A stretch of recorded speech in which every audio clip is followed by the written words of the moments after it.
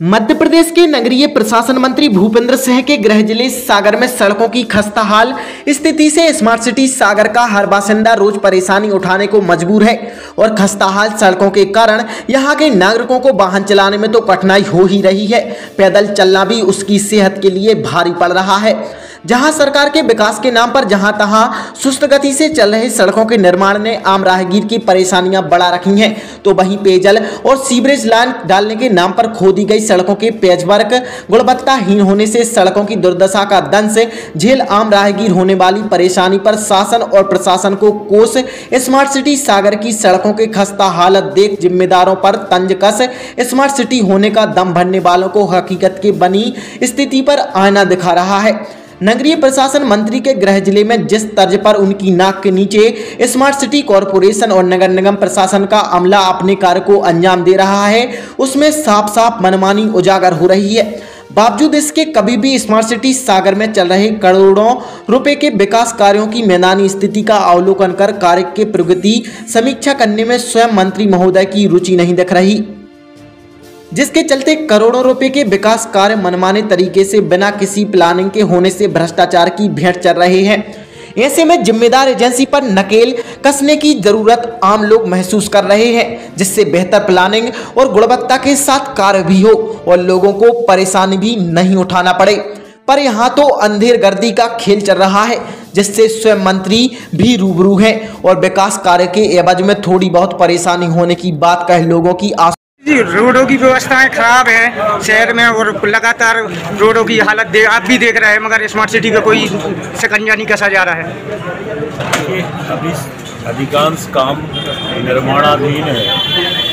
जब काम निर्माणाधीन होते हैं तो उस समय थोड़ी तकलीफ़ होती है। और यही सारे काम जब कंप्लीट हो जाएँगे तब आपको एक नया सागर देखने मिलेगा। जिम्मेदार एजेंसी का बचाव कर इतिश्री किए हुए हैं।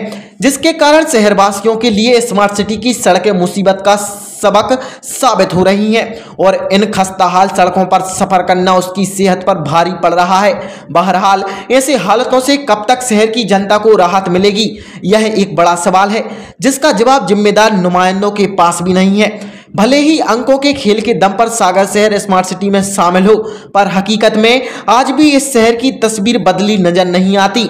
जब नगरीय प्रशासन मंत्री के गृह ज़िले के सूरत हाल यह हो तो प्रदेश के अन्य शहरों में किस तरह विकास के सूरत हाल होंगे, इसका अंदाज़ा सहज ही लगाया जा सकता है। देखिए, वर्तमान में सागर की सड़कों पर चलना तो बहुत दूर की बात है, गाड़ी चलाना तो असंभव है।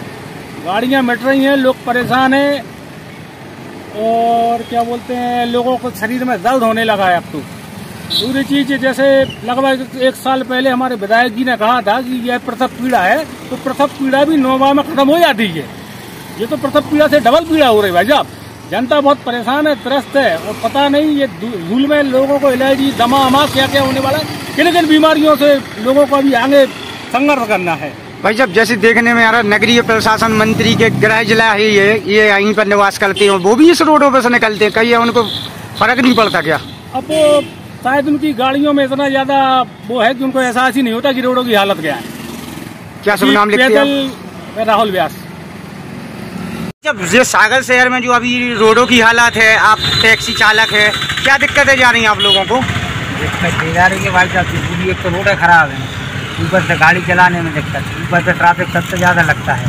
और इस रोड पे परकोटी चौराहे पे आए दिन का सुबह से जो जाम लगता है तो वो शाम तक रहता है। तो जाम है तो वो खुलता नहीं है।